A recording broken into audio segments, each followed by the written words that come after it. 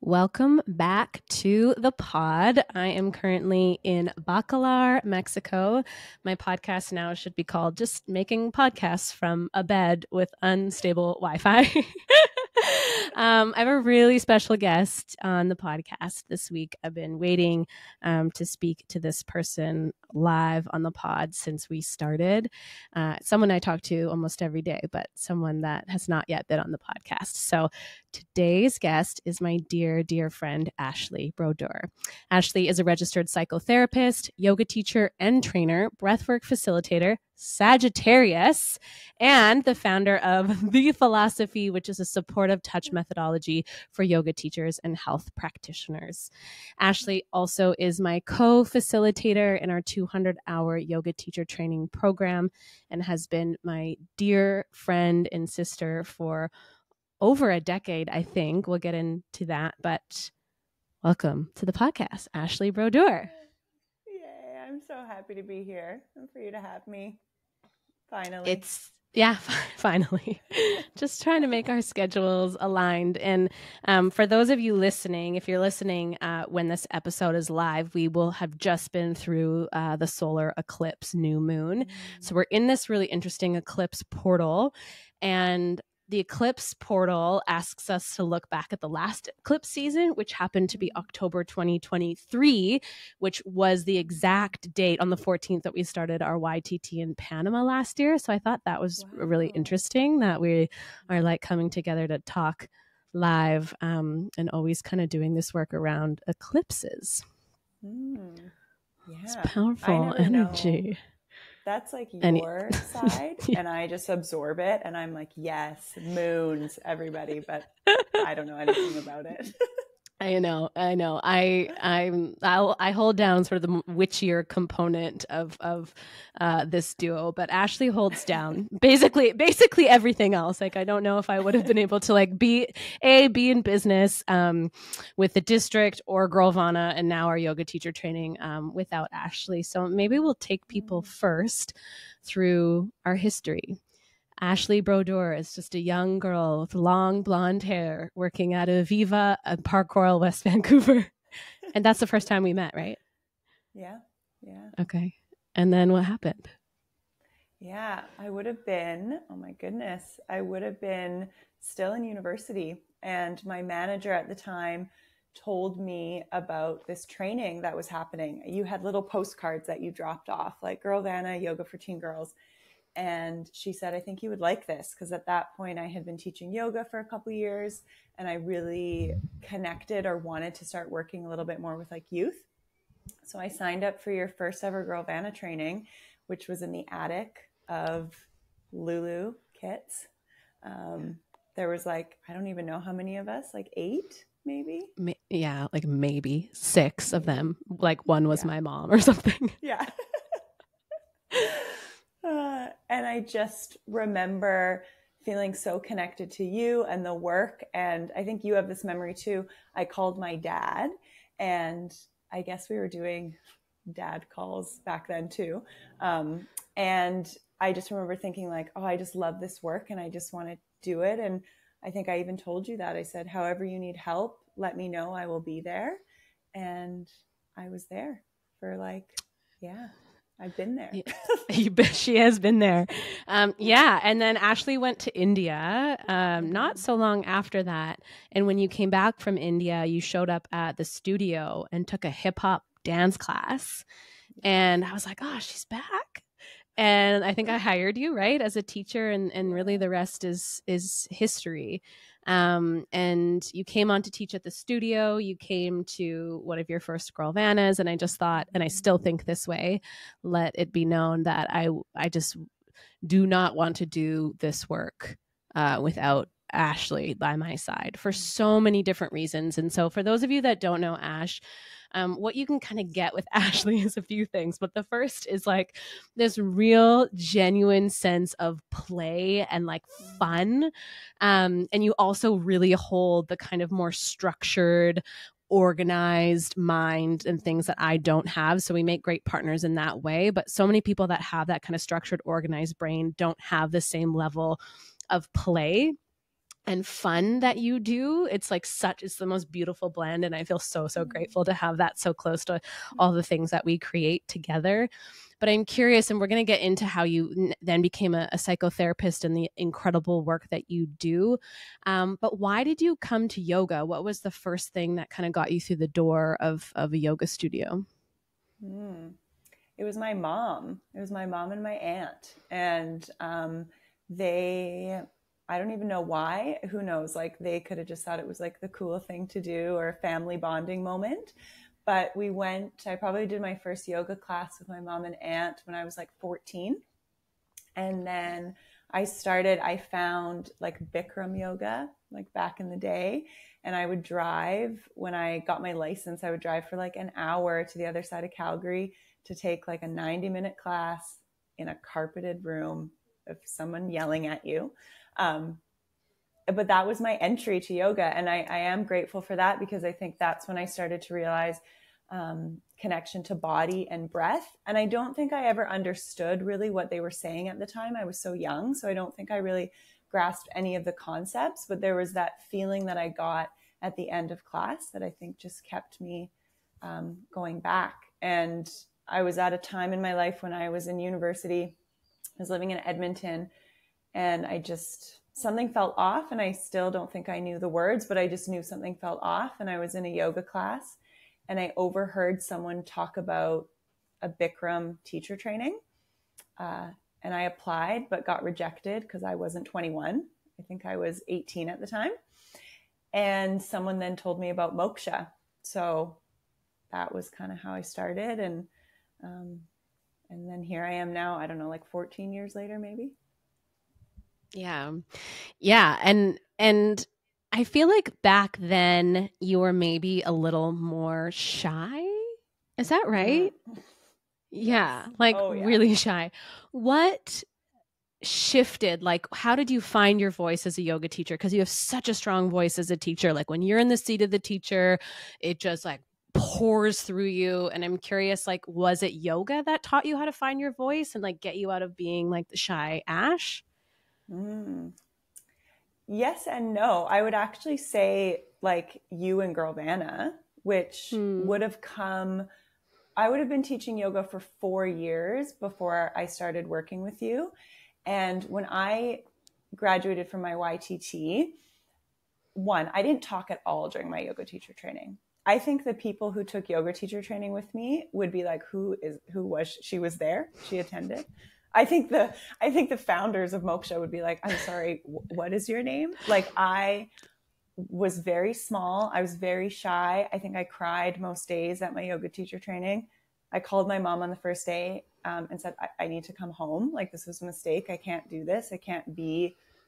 I have nothing to offer. I have nothing to say. I'm the youngest one here, and so to survive, I just adopted like which was my narrative for a while was like be a good girl and do you just like learn how to be good? And so i like memorized the script. I would just like mimic what i saw in a lot of other yoga teachers. And i got by doing that for four years just kind of like mimicking and like doing the script and like doing the voice. I had a very nice voice. Um, and then i think it was like Girlvana and going on that first retreat in Cortes that i realized like there's a different way to teach yoga to be in your body. And so I know we joke and I know I've said it to you so many times, but I really think you had a part in like raising me of like who I am today because it was the first time I just witnessed a different representation of how you could be. So, hmm. yeah. Yoga and that, re- yeah. Thanks, Ash. I mean, yeah, now I think the roles are reversed where I'm like, Ashley, help. um, but I think that retreat was such a intense retreat. And for context, we took like whatever, 10 teenage girls to Cortes Island, which like you have to take like five ferries to get there. And it was, you know, the kids were in the car. It was hardcore. Um, and we dealt with a lot of different elements as we do every Girlvana. There's always something different, but this one was really unique. Um, and Eh, eh, but I think the what that work does really is it's so expressive, it's so messy. It's unlike a, you know, quiet yoga class where everyone does the moves and goes home. It's a lot of crying, it's a lot of laughter, it's a lot of dance. And I think there's this blend, which is really unique, I think, to both of our experiences growing up dancing and growing up being sort of mm-hmm. in our bodies. But yoga allows us to find movement and expression in a different way but i think sometimes it gets too serious. And so Girlvana i think mm. still whatever 15 years later gives us the permission to kind of like go back to that and be really silly. And ash has like a signature let's call it what do we call it? It's like not a dance but it's like a signature experience uh, that every now and again where the energy gets really heavy at a retreat. And i'm like ash it's time for the dance. And we put on Evanescence, and Ashley does like a full interpretive dance routine and she pours water all over herself and you have to be there to witness it and it's so funny and this is what i love about you is just like your ability to laugh at yourself or mm-hmm. actually put yourself in a scenario that like allows you to be laughed at, but in the most like wholesome way for the sake of like breaking up some of the intensity. And so um, that is something you do so well. And like I said, it's something that I, I feel so grateful to have around me. Um, so you learn, you discover your voice you you get more playful you become more you and then you start something called Feelosophy so Feelosophy mm. and what's the genesis story of Feelosophy? Why is that work so important to you? Why did you start it? Yeah. If I'm being super honest, I started it because I was starting to feel burnt out teaching yoga and I wanted and you know me like I always have a business brain like I went to school for business so uh, I inherited that from my mom so I think that my brain is always in that realm too. And so I was like, I want to start doing a workshop. And it was our good friend Anita who was the first person who suggested um, I do like a yoga massage class because I was known for my Shavasana adjustments. And so she helped me do the first ever kind of workshop together. It was yoga and massage. And from that, it just started to unfold. It was Jian who gave me the name um, I went to him and I said, This is my idea. It's about touch, it's about feels. Um, and he came, I think he went to the bathroom and he came back and he said, The Feelosophy. I made a website that night, I made an Instagram page, and it was just birthed out of it. Probably there was like, um, if you've ever read like Big Magic, they just say like people are dropped down almost like I oops ideas and I just like listened and I trusted it. And often that happens a lot in my life where I'll just have almost like a download and I have no justification for why. And I just follow it. And in the very first class, there was a woman who came and she was a new mom. And she emailed me right after and she said, I didn't realize how much I needed this. She's like, I'm so touched out from being a mom, but I realized how much I crave this um, safe, supportive touch. And it was that email um, that I think started to shift it. And I started to then unpack for myself and do my own work around touch. What is my relationship to touch? Uh, what do I believe about touch? And I slowly just started to weave that more in. I started to study touch. Um, and over the years, it's now evolved into where it is today, where I, I really advocate and teach people how to like hold space for touch. But back then it was restorative yoga and just like lots of scalp massages. Yeah, yeah. And it's so beautiful if anyone's ever had the blessing of being in one of those rooms with Ash. And I'm curious when you started to unpack your own relationship with touch, what showed up for you? Because this topic is so fascinating. And I think um, we are so starved, so many of us, from touch or non-sexual touch or safe touch or whether we got you know touch safely growing up or we didn't like it's a really really nuanced topic. So i'm mm-hmm. curious when you were in your own exploration of touch with around how you felt about touch and what you were bringing to people like let's say in like the three first years of the Feelosophy like what did you see most showing up in your classes and, and showing up in yourself with your own mm-hmm. relationship to touch? The first thing often is like people will go into the memories of uh, ways in which they were touched that they didn't want touch. So that's often what came forward first for me was all these memories of like the way in which I was touched without my consent, the way in which I was um, sexually assaulted, the way in which touch was used um, as a method of control or power or just attention. Like in grade seven, I would want boys to like, like, they would like spank your butt in the hallway. And that was like, you made it because he like spanked you. Like, what the actual fuck is wrong with so many of that? Um, but it was like the way in which touch was used that wasn't like for me.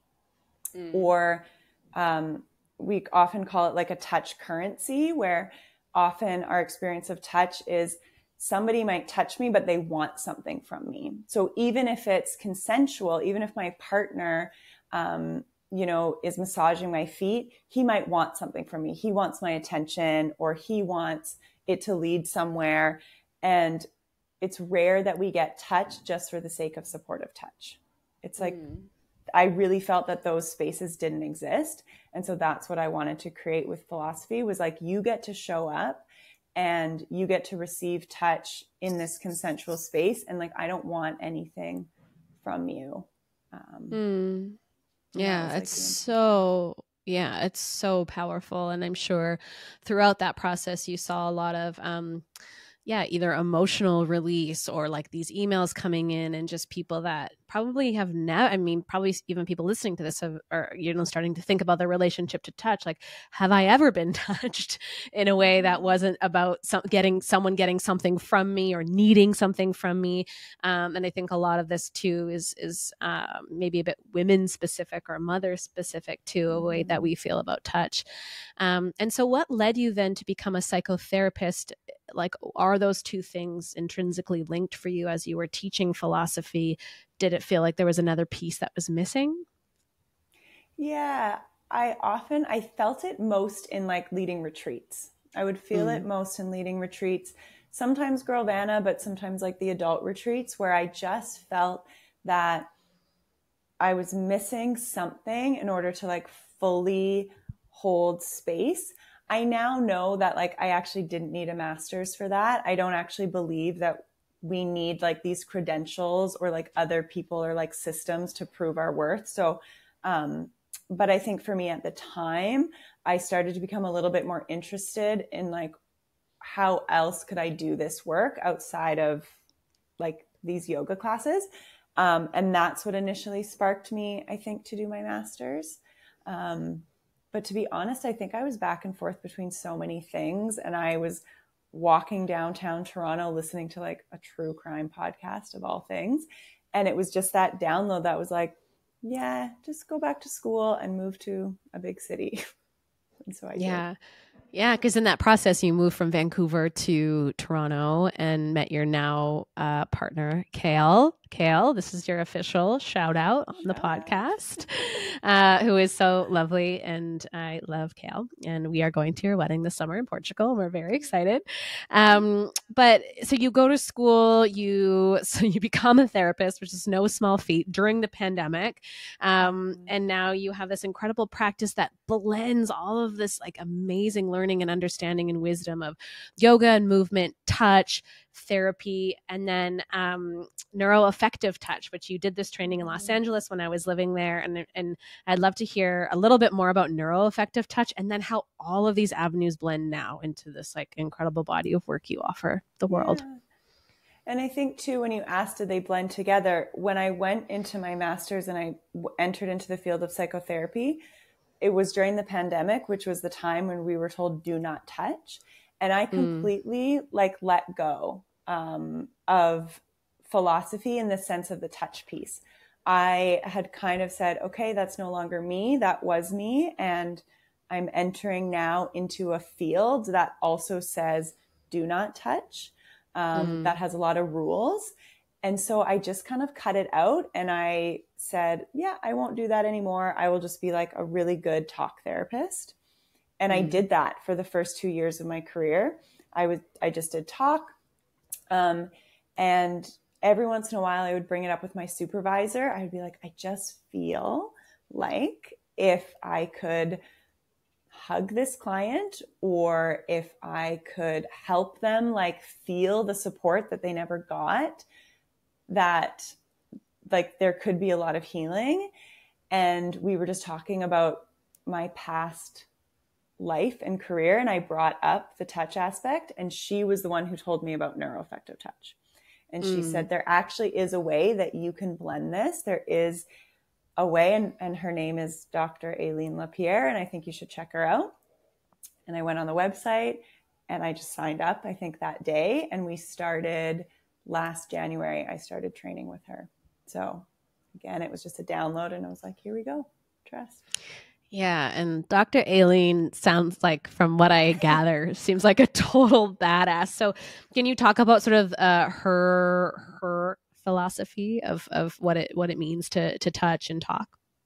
Yeah, her belief was similar. Like she grew up, she's a little bit older, and she grew up in the very like male dominated psychotherapy world, and a lot of common names like you would see today. Uh, Peter Levine and Bessel van der Kolk, who wrote like Body Keeps a Score. So she grew up and trained with a lot of those people as well. And her belief when she would work with a lot of clients was that in like early developmental ages, so uh, in even like when we're in the womb, but then also when we're babies and when we're growing up, touch is like a huge part of how we receive care. It's also how we interact with the world. It's how we interact mm. with safety and our caregivers. And as we get older, um, we start to either like not receive the care that we need or the attunement that we need, or maybe we never did. And so her belief is that like touch is actually a way that we can heal that kind of relational wound um, or that attachment based wound. And then it's developed from there. Touch is a way that you can support people learn to regulate their nervous system. Um, I've been working with it with people who've ever been like violated through touch and helping them to like rewrite their relationship to touch and feel safe in their body again. But yeah, her work is incredible. She's like so knowledgeable. I don't even think I can do her justice, but her huge belief is that attentive, attuned care um, is like profound. And it's the way that we connect mind and body because we tend to live mm. so separate.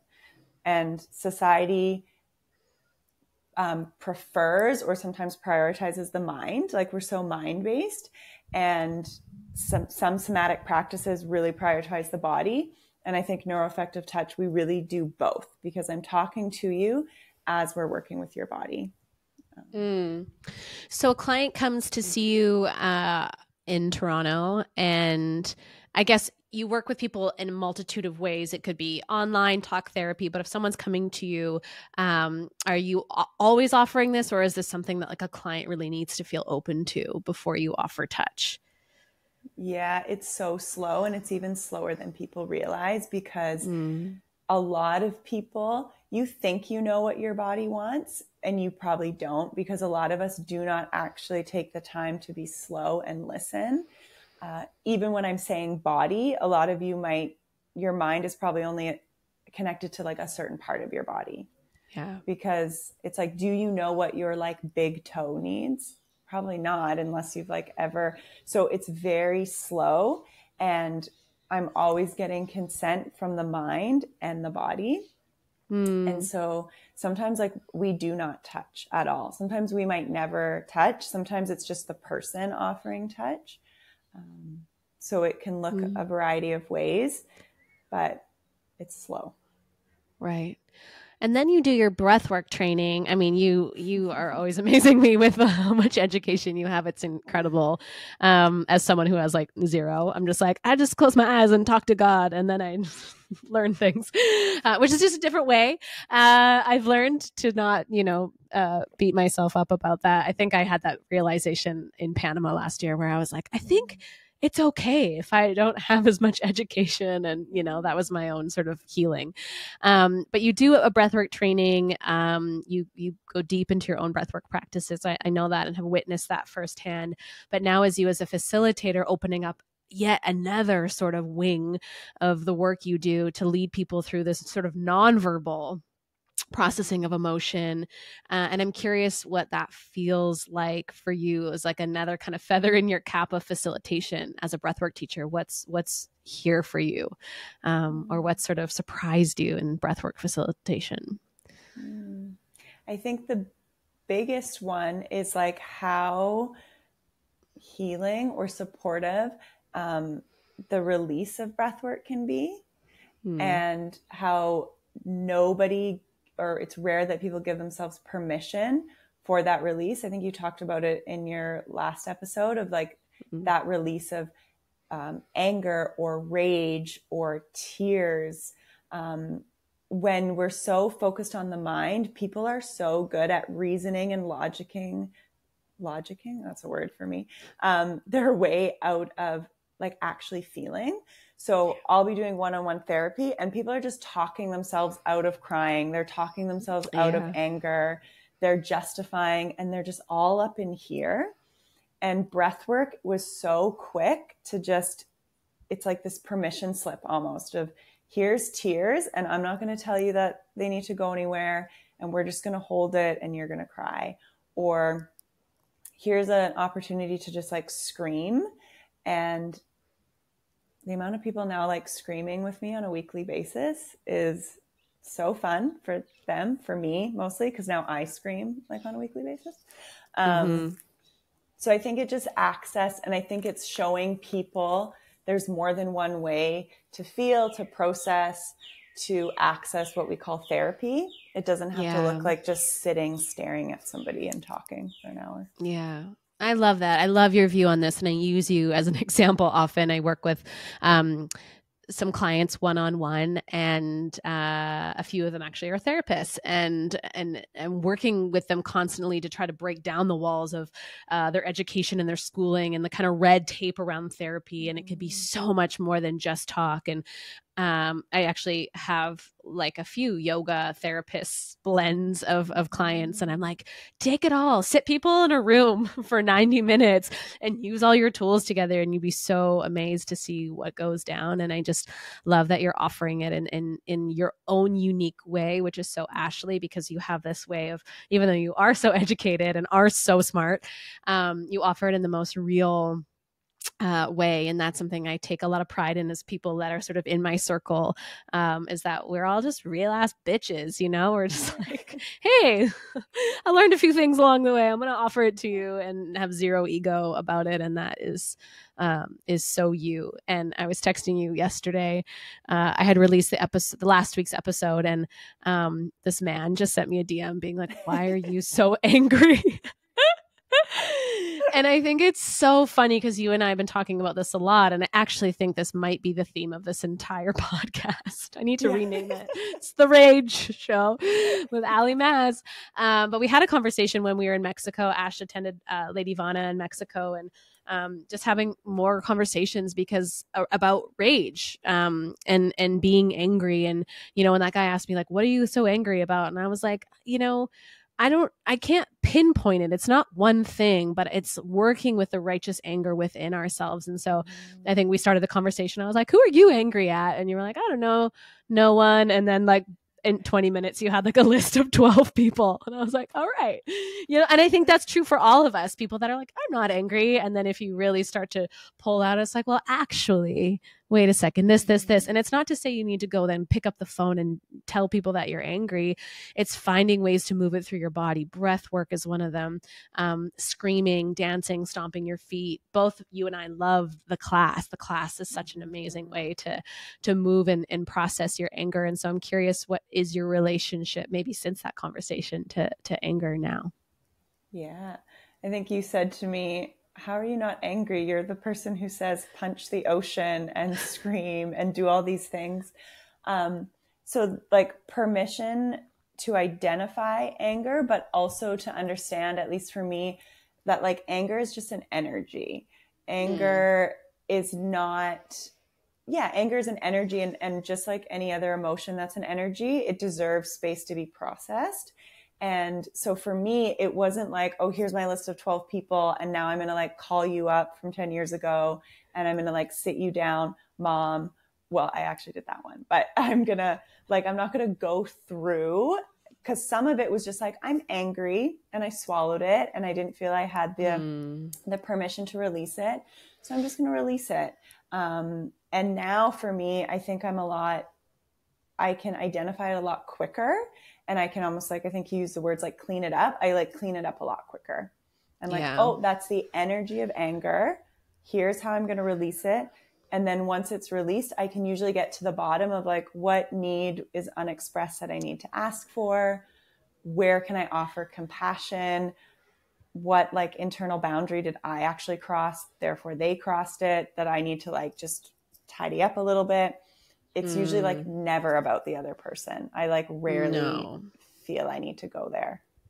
Same. Ugh, I love how you just articulated that. And it's so true. If we can just meet it and not label it like, for me, it was like, yeah, sad is maybe better than angry. Or, you know, we kind of have like these categories of our emotions. And for me, anger was like at the bottom. Like, that's the one you don't touch, you don't feel. Like you said, you're not allowed to feel, versus like maybe sad is like somehow nicer or cuter or frustrated versus the anger itself. So when we're actually neutral around the thing and just feeling it, and that's actually what I love about breath work is like, okay, big feelings come forward and you don't necessarily mm-hmm. have to mm. name it or narrate it. It's just like, get it the fuck out of my body yeah. now. and I love what you said about boundaries. And can you actually talk a little bit more about boundaries? Because I think um, I've learned a lot. I know I've learned a lot about boundaries and certainly in work settings, but I'm curious, like, your relationship to setting boundaries um, or how you you work with your clients and them creating boundaries especially for women because i think it's so hard for us hmm.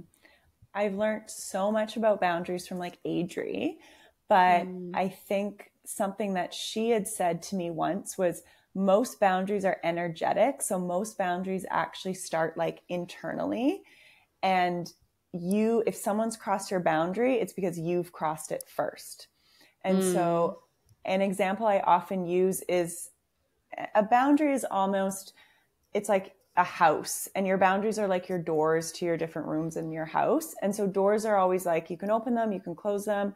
Um, you don't want everyone in your bedroom. Sometimes you just want people in your kitchen. Sometimes you want people like outside of the house. Um, so boundaries, they can be verbal things that you say, like do not do this or please don't, you know, like they can be requests. But often boundaries are like things that you uphold and like you are the only one who can control your boundary. Like I can't control what you do. Um, so I can never have a boundary that's specific, like, Alex, don't text me past 8 p.m. That wouldn't be a boundary. The boundary would be, I don't check my phone past 8 p.m. So like mm. you can text me as much as you want. I have no control over you, but I can control me. Um, yes, I love that. Yeah, that's a really good reframe because I often think uh, I have thought about boundaries the other way, like don't do that. it's like, well, I can't control what you do or not, but I am not going to be available for or, um, yeah, where you kind of shift the paradigm. And then I think it's easier to declare that because I think sometimes with boundaries, for me, anyways, they feel more, com- I have thought of them as more confrontational or that I have to mm. like be like, not myself to create them but i i thank you for that little reframe that really helped me actually a lot as you often do um you work a lot with teens uh, in a therapeutic sense. Um, I mean, you always have, but um, you work with teenagers as a part of your practice. And, um, you know, we know this because we work with teens. There's so much narrative around, like, ah, geez, teens today, like, you know, social media, Gen Z, blah, blah, blah. Uh, this is maybe a twofold question, and you can answer it however you like. But um, what's sort, of, sort of your thought around working? What do teens these days need, um, and what do their parents need to hear? right, we're gonna start with that one because okay. not a hundred percent of the time, like, n- but often I feel that first of all, just acknowledging like parents are humans and parents are people.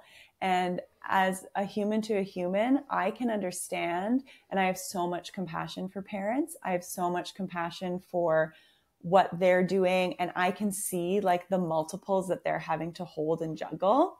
Your teenager cannot see that, nor should you expect them to see that.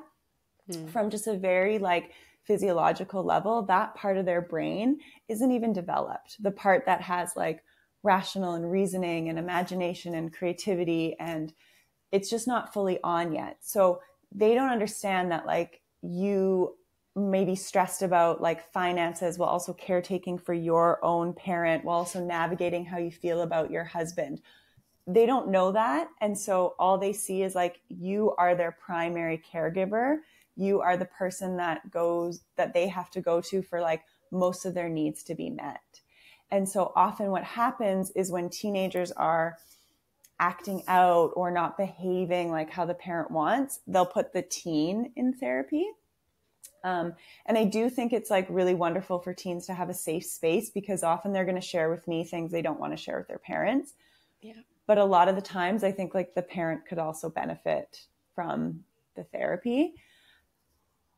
I think anyone can benefit from therapy. But I really think all teens need to know is that like whatever they're feeling is like so valid. Even if you disagree with it. Like teens will tell me things and I'm like, okay, I like don't really agree with that, but I can validate that it's frustrating for you. I can validate that it's really hard. Um, a lot of teens come to me and they have these dreams and they don't know reality yet. So they, they have these like beautiful dreams and it's like, just like believe in their dream because who knows who's like you as a parent might have this reality like it's hard and but like your teen doesn't know that yet so like let them dream and hold space for that dream because the minute you shut down their dream they're not going to come to you anymore like yeah they have an idea they're not going to mm. come to you um, mm. you don't believe in them or you don't believe mm. them they're not going to come mm. to you so but it's hard and that's why i think like parents should also have their own therapist because yeah it's so hard. Yeah. Oh i wish every parent in the world could just hear what you just said and it's so true and we have seen this over you know 15 years of this work. It's like what's wrong with my kid?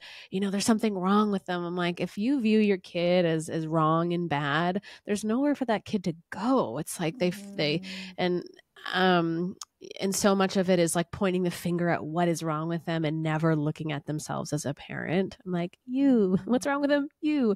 Uh, not always but but sometimes it's like it's it's time to look within and um and gosh i have so much compassion um having spent all this time with teenagers for parents and it gives me so much more compassion for my own mother and i've been talking about this a lot because it's been feeling like a really big realization where I am so grateful for my parents mm-hmm. because I mm. did have parents that I was like, I'm going to do that. And they were just like, sure, honey, that's yeah. great. Good for you. but it did keep the door open you know, because I felt like they mm-hmm. believed me um, and believed in me. Um, and I think that's so, so key. And seeing what you have seen through your practice uh, and seeing how challenging it can be for parents to parent teenagers and I think I know this for sure is that you you want to be a mom. And so I'm curious how you reconcile that. you know, and I'm sort of in the same boat. I'm like, damn, that looks crazy, but I'm like, okay, sure. Um, and I'm curious, like, what that what that is like for you when you're with all these sort of sensitive young people, and then you're like, okay, I'm gonna raise raise one of these one day. Yeah, delusion. Um, that's what I pull on. I think this thing called like it's just radical trust and it's radical because mm-hmm. there's nothing you can do except trust. And i practice radical trust with my teens and no matter like i hear some heavy stuff and but i still have this trust that like they will be okay and they are okay. And um and so i think i just have this radical trust that like it will be whatever it will be when i have a kid. And I trust that like even when it's really hard and I know it's going to be probably so hard that like we make it through. I witness even though I witness everyone's really hard shit, what I also witness is like people making it through and like people surviving despite it being hard. And so I sometimes don't worry too much about the hard stuff that I'm hearing. I try to pick up more on it's really hard and these are all the things that you're doing Like yeah. I have one client who's like gone through I think the hardest things that no one should ever have to go through like four times over. Mm. And I don't really focus so much on that. I focus on like how they're getting through and the people who are showing up for them and like the insanely loving parents that this person has showing up for them. And I'm like, that is what I want to focus on instead yeah. of the what ifs. Yeah, and you're so good at being in the present moment, I think, with these things too. And that is such medicine for everyone. It's like, okay, these things happened and you're here right now. You've mm-hmm. survived every day of your life and you're here right now and in this moment. And that is worth everything um, and i think so much of the work that you do and that we do is is is bringing people back to what is here mm. now and okay mm. the maybe the event the traumatic event is over, but the the feeling is here and it's in the body. And then how do we work with the body? How do we work with touch? How do we work with talk? How do we work with dance? How do we work with our scream? How do we work with our breath? Um, to continue taking steps forward and um, you know, my teacher always says like, "What time is it now?" And Ash and I've been joking about, which I think we should get just this tattoo on our our left wrist that just says "now." So every time you want to check the time, you can remember that the time is now, and that has certainly um, uh, helped me. And and you can hold people, and myself included, as your friend and business partner, in a really neutral way. Which not everyone can do and neutrality is is the greatest gift. And i think parents it's really hard for parents to hold their children in neutrality because it's so easy to react. Um, but to just be neutral when someone shares something it's like I can even just see your, you're just like you have a you just do the head nod, you know, and you receive without reacting and being afraid or jumping all over it or trying to fix it or trying to cure it is like the the medicine and and being neutrally held to say what you need to say mm. without reactivity is I think is what you that's your job, right? That's just what you do all day. Yeah, yeah. And sometimes I'm sure you're challenged with neutrality in times where you, it gets underneath you, like when Matthew Perry from actor from Friends died. okay, that was devastating, everybody. Okay, it was devastating, but. Uh, Ashley and I have this joke where I sometimes, actually, this is a good segue because sometimes you're so neutral where I'm like, is she a sociopath? Like, you know, like we go to bed at, at night at teacher training and she's just like, good night, and just like closes her little angel eyes and sleeps like a literal angel, doesn't move, doesn't make a sound. She's uh, like, this is the most uh, profound superpower, I think, because I'm not a great sleeper. You just go, good night, close your eyes, and is asleep for the whole night. And I was like, I don't know, something's weird here. Yoga teacher training is so heavy and you know, we're dealing with a lot of stuff and people's emotions and, you know, fears and whatever. And I'm like, gosh, nothing gets her. And then Matthew Perry uh, of Friends, tragically dying, not laughing about that. And Ash just, poof, just broke open. That's what got her.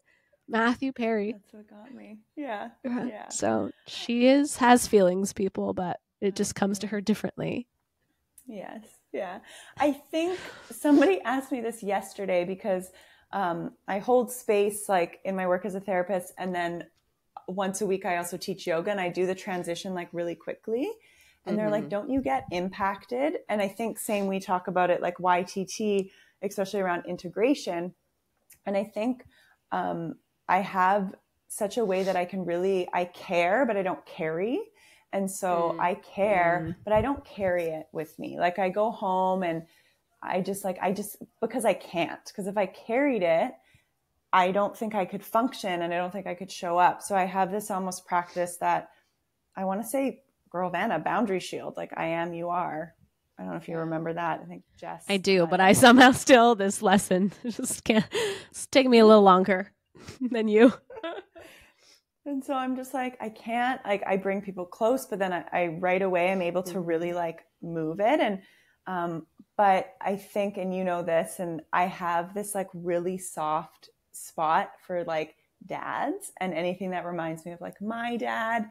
And Matthew Perry just brought up so many memories for me of my childhood and watching Friends with my mom and dad. So it wasn't like Matthew Perry specifically, even though like it was of tragic. course. Of course. It was like my my like core soft spot, which is like my my mom and my dad. Yeah, no, I know. No, it's so sweet. I hope the listeners know we're just poking fun.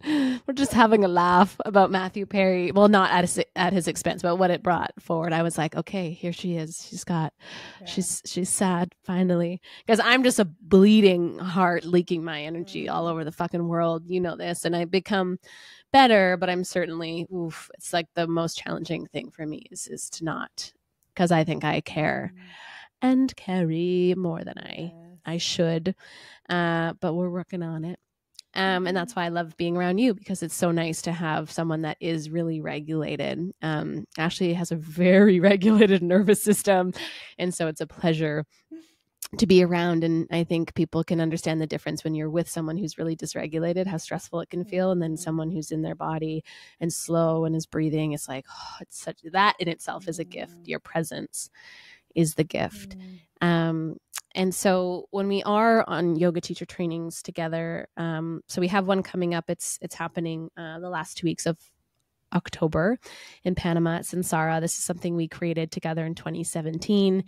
Uh, it's for anyone who wants to become a yoga teacher or anyone that wants to learn about yoga, because I think that's the common misconception. We get these DMs being like, I don't know if I'm ready. I've only been doing yoga for like two years. I'm like, that's fine. Come learn and deepen um, and understand the practice. You cannot get that learning just from going to class. I think everyone that loves yoga should do a training, uh, whether you want to teach or not but i'm interested in because in the time that we've been doing this you became a therapist and you know your work is so expanded and i think you had really cool learnings last year about mm-hmm. how therapy and yoga philosophy are sort of in this kind of beautiful marriage so i'd love you to talk a little bit more about that yeah i think this realization and and sometimes um I think it's it's all like same knowledge source. Like if we just think like universal knowledge, and we've just distilled it into like different ways for people to absorb it. And so a lot of the teachings in therapy, which also I'll name are westernized, so like most likely stolen anyway from like other cultures. But let it be known. The, yeah. let it be known. A lot of a lot of like uh, therapy ideas are so actually closely aligned with yoga um, philosophy as well. I think you would lead a lecture on like samskaras and kind of the train tracks of like the beliefs and then I'm just going into like core beliefs which we work with all the time. And so they they wove together so beautifully.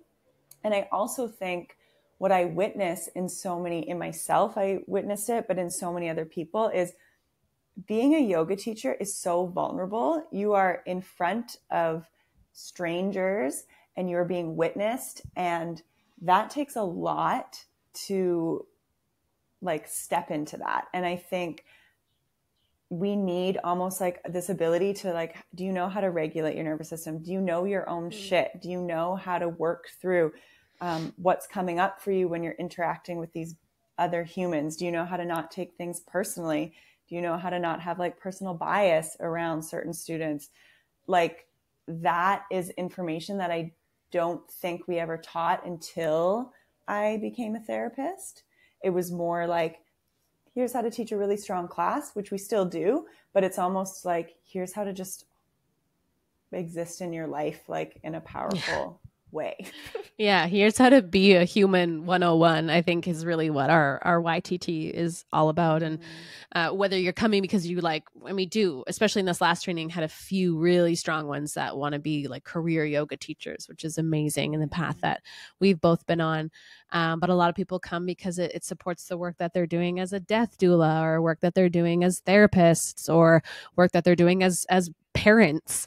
Um, I just see it, it, it coming into all facets of life. And so Ash and I are there with you in Panama, and then we have a, a, an amazing digital component to the training um, with this wonderful woman Naya of Solga, and um, uh, viewing yoga and this work from an anti-oppression lens and so i think that's a blend too that is is so important in this training is is like we're getting not just you know touch your toes downward dog but you're looking at the full scope of of how to be a human uh, in the world. And i'm curious if you want to talk a little bit more about naya's work and tessa's work.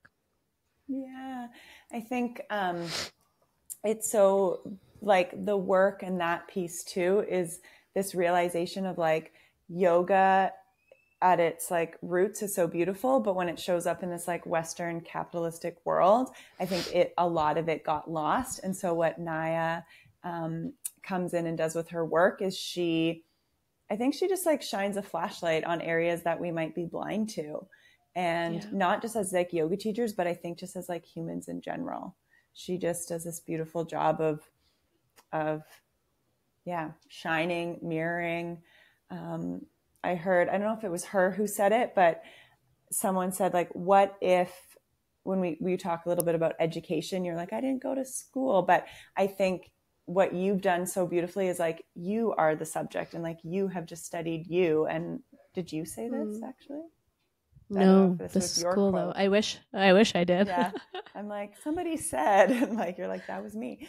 Um, but like, I think we, most people assume that oh, I can only do a training if it's like specific to what I want to do. I only have to go back to school if that's the career I want.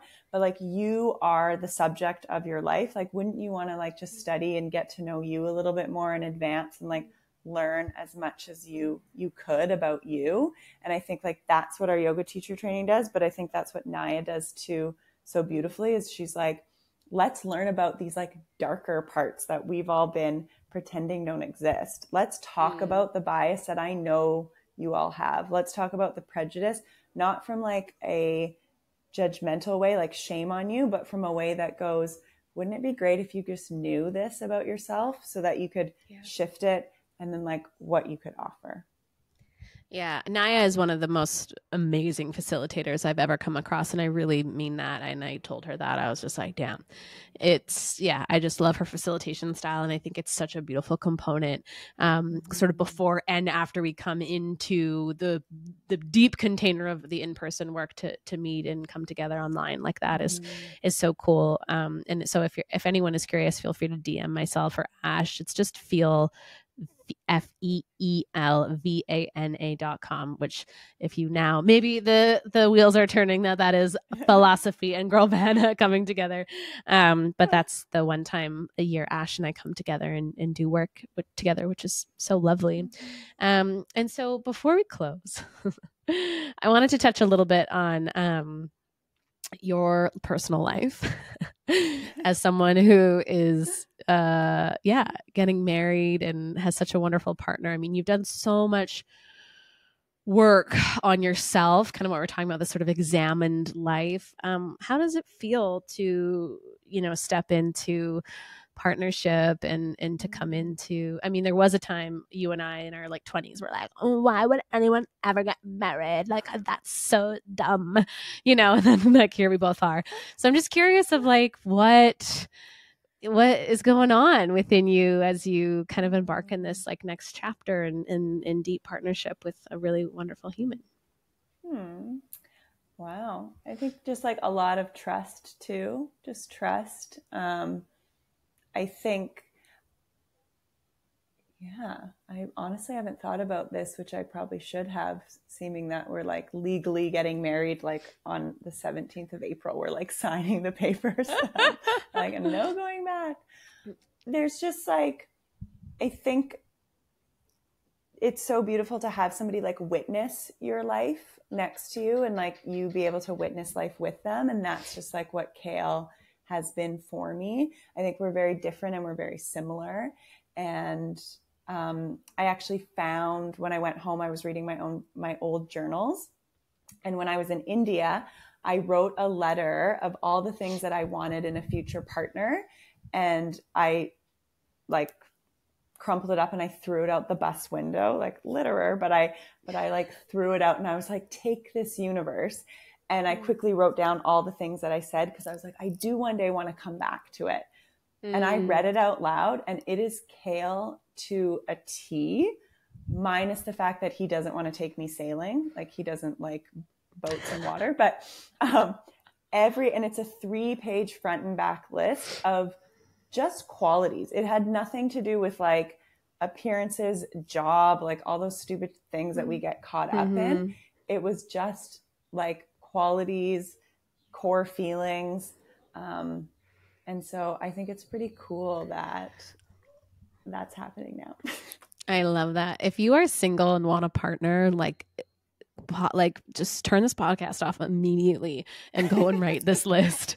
I just when people are like, "How do you find someone?" I'm like, "Not by looking outside of yourself. It's about looking within yourself and figuring out what you really want." And I could say the exact same thing about Bill. He, mm-hmm. I wrote him down on a piece of paper one day, and you know, when he came in the most, uh, you know, like un unassuming package.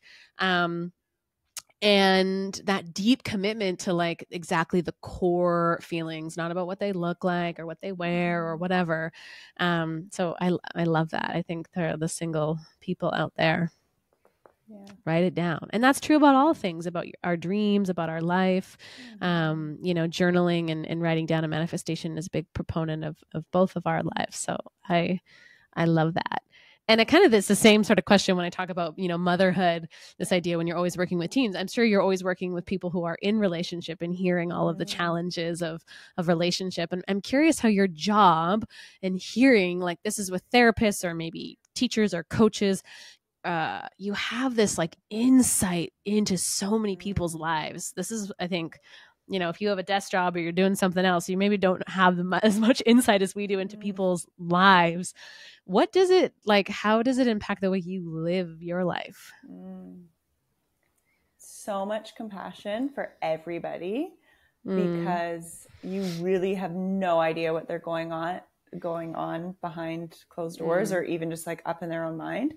So much acceptance for how people choose to show up and be in the world because yeah like you can do i i talk to people every day that are living life in so many different ways and one is not better or worse or good or bad.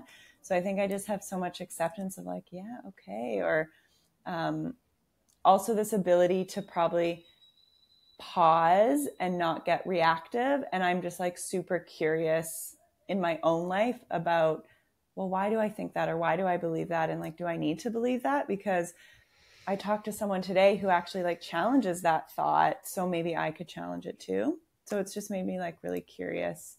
Um, and life is also just like so short.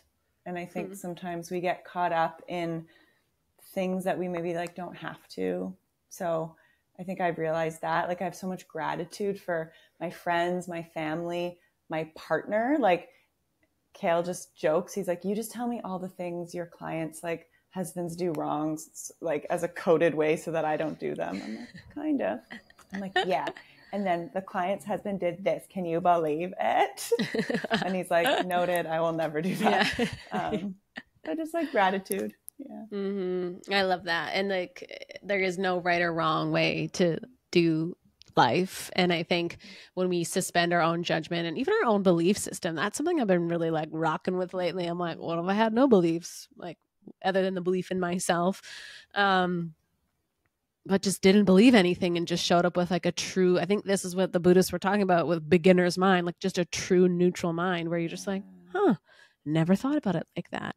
You know and we see what happens to a world we see we're living it in in so much division so much division. There's like right wrong good bad. You're on a side and you stick by and you ride for that quote unquote side when we're missing the point and, and back and forth and you can put that context on everything right now. Um, but what if we uh, suspended yeah our judgment and our our beliefs and and kind of showed up each day empty and just see what life had in store for us and and it's it's kind of a really interesting edge of life to live on but i think that's the edge of life you live on constantly because if you were judgmental if you showed up to your sessions judgmental with a strong belief system people wouldn't get anything from that they wouldn't be able to trust you they wouldn't be able to learn or grow or process uh, so I think it's such a beautiful way that even if you're not a therapist out there, but just a way to sort of uh, oh, another lens to look at life. It's like it is not so black and white. It is not so right or wrong, but it's just life is in the gray area, which you see every single day. Um, how do you uh, what do you do for fun? yeah, because I because I'm sure your life does get heavy, you know, with this work sometimes. So so what are what are you up to these days? What do you do for fun? Hmm. I think I'm working too much. So because it's not coming forward as yeah. clearly as I would like it to. Um, if I'm being honest. like definitely travel. I've always been a, a travel gal. Like if yeah, I love that. But on a day to day, what do I do for fun? I love to cook. I just when I was a little girl, I used to have my like pretend cooking show. Um, I would just talk to myself and cook and like mm-hmm. teach pe- teach people teach the wall um, mm-hmm. how to make. So I every day after work, I always cook. Like it's my it's my joy. So I think I do that mm. for fun and yoga is fun. So I do yoga still. That was so that was so convincing.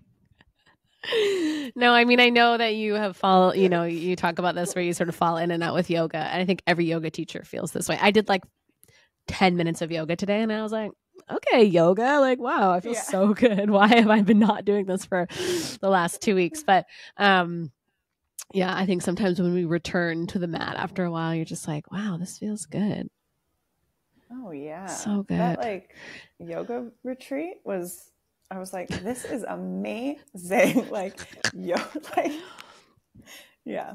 So get a hold of yoga people. Yeah, I know. I, yeah, it was I I say this to a lot, but uh, in the the five years we so my former business partner Gian and I, there's an episode you guys can listen to it. But we used to own a yoga studio. Ashley was a very very big uh, part of that, and we used to throw these really wild parties and these amazing classes. And I just have never nothing. I don't know. Maybe till we open the hotel, we can start to recreate some community like this. But I'm like, God, I would like trade something very valuable just to like live one of those yoga classes again or like go back to one of those parties and like have that have that energy again where we were just wild and free mm-hmm.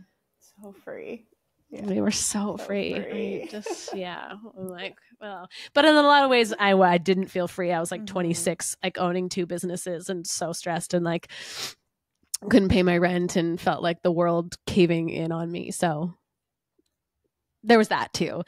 And I mm. was on the plane wherever the last plane that I was on and I always write all these notes in my phone like when I'm on the mm. plane that's my my my kind of ritual. I'll like write a little journal entry and then I'll go back and I can scroll back for like to like 2016 and I was thinking like you know I opened the studio I had this awful home invasion I like just mm. went through a lot of stuff and I was like huh that that was traumatic. Like I went through a lot of trauma in that time and so much pressure and I was really like kind of so I wrote a little letter to like that version of me, like the district version of me that was holding so much. I mean, talk about carrying. I was carrying it, all of it. Yeah. And I was like, "Hey you." Like, yeah, and it was so healing to do that, to go back and just like mm. acknowledge that one. That was like uh, you know, I was young and so and we had such like fun times, but there was so much in that time that I think I wasn't acknowledging. So there's always, if you think you're done the work, it's never done. there is always a version of you that you need to look at and sort of validate. And um, mm-hmm. so, yeah, I was like, oh, are you okay? 26, 27 year old me. Yeah. Yeah. She's fine now. Yeah. Fine she's, now. she's fine now. She's thriving. 10 years later. Well, Ashley, Noel, Brodeur, are you going to change your last name? No. Yeah. Don't do it. I did it and I regretted so it. we have kids. Yeah. i am going to hyphenate when we have kids just for like travel purposes. Mm, yeah. yeah. I love that. Yeah. When I one time I asked Kale for your address and he just wrote, "What's Kale's last name? Richardson?" Richardson, yeah. Richard and he wrote Ashley Richardson. And I was like, I don't think yeah. not that's the route she's gonna go down. No, um, no, no, not this uh, eh, no. Uh, if people want to work with you, if they're listening to this and they live in Toronto and they they want to be touched by your gifts in more ways than one, um, how do they find you? Yeah, I feel just like Instagram at I like at the dot feelosophy or even my website, just thefeelosophy.com. You can see like all the all the stuff that we're up to and just yeah, send me a little yeah. email. Great. Uh, know you are accepted. Do you accept? And you're so busy. I don't know. Do you have room for clients? No, but I will okay. always make room. I will always make okay. room. Yeah, like don't let okay. it be a deterrent. People yeah. flow. People come and go. Yeah. Um, okay. If okay. I cross my own boundary, that's my work. So that's right. That's her. That's on her. Um, and then if you're interested in in teacher training, the applications are open. We have a really beautiful group um, coming together. Mm-hmm. And if you have any questions too, always feel free to reach out because um, there's lots of ways to to make it work. And so if you're kind of on the fence, it's always nice to just ask us. Yeah. Yeah. Well, I love you dearly, nearly, and dearly. Um, I said this when we were in Mexico, but I just, uh, yeah, I love you in every single lifetime. And I, I really believe that our souls continue to come together to kind of climb these massive mountains together. And when I look back sort of at our, our history and the things that we've been able to create together, um, it's just been amazing and i uh, so mm-hmm. i just want it to be publicly known even though i think and i hope that you know this that i wouldn't be like half the woman i am today without you being by my side and i just have so much deep deep respect and, and reverence in the ways that you've been able to stand beside me and or walk in front of me leading the way or just sort of gently encourage me from behind. But to me in life is like yeah there is no adulthood without ashley noel Brodeur richardson. Oh thank you. I won't cry but if matthew perry's if she could yeah. yeah. Could, yeah sorry. You guys know that's not enough to get yeah. tears flowing but you know i tried really tried but it was just a proof of point I love you. Thank you. I love you too. I love you. All right, all. Thank you so much for listening. And if you liked this episode, you can like and subscribe and share a review because those mean a lot to me. And I just appreciate so much um, your comments and your DMs and the way that you're enjoying this podcast. And so, yeah, feel free to to reach out. And Ash, thank you so much for being here. Thank you. Love you. Love you. Bye.